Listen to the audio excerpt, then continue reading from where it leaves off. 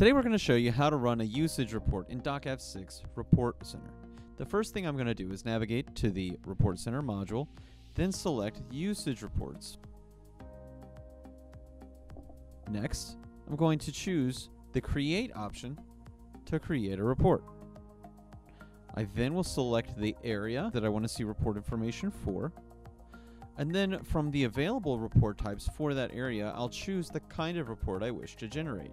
Here I'm going to choose an active users report, a checked out documents report, and a page traffic report for this site in SharePoint 2013. Then I'm going to click Next.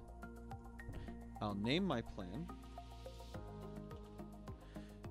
and then enable the collector to pull the most recent data from any audits that have taken place with the solution.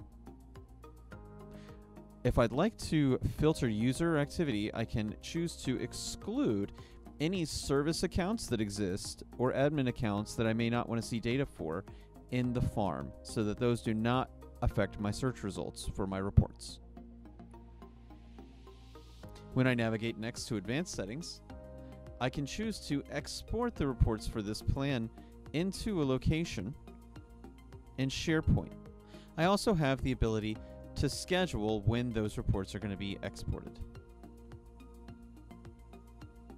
Here I have the ability to get alerts for each kind of report that I'm triggering when once they're generated. Next, I have the ability to see an overview of all of my settings, and then I can save this report to run on a schedule as predetermined, or I can save and generate the report now. This has been how to run a report with DocAve Report Center.